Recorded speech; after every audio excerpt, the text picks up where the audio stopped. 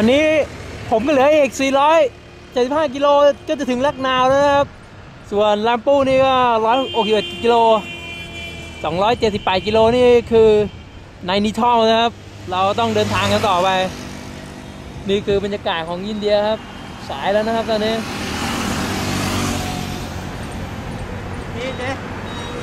เดี๋ยวถ่ายรูปกันครับผม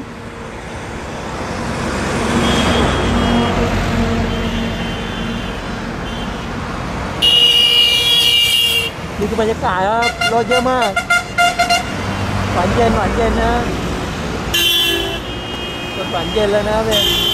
นี่ก็คือบรรยากาศรอบๆของเราครับเนี่ยมีกองอะไรก็ไม่รู้กีเลนหรือว่ากี้วัวกี้ควายไม่รู้นะเนี่ยสุดยอดครับสุดยอด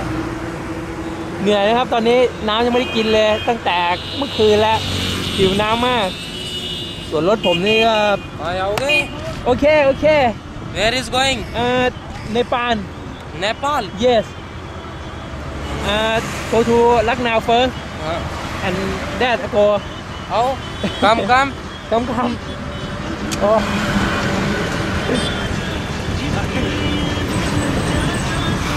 How ไอ้ come? ไอ้คนอยู่ในปานอะนะเป็นคนอยู่ในปานก็ไชน่า China เวียดนามลาวแอนไทย yes long time How come, come? long time what's your name Deepak Chaudhary. เดปาโชเดโอ้ nice to meet you นะ Okay. โอเค you friend on the way เฮ้ย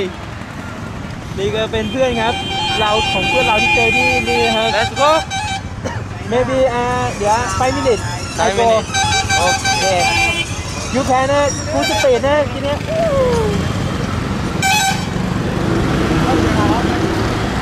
นี่ครับเพื่อนที่เจอกลางทาง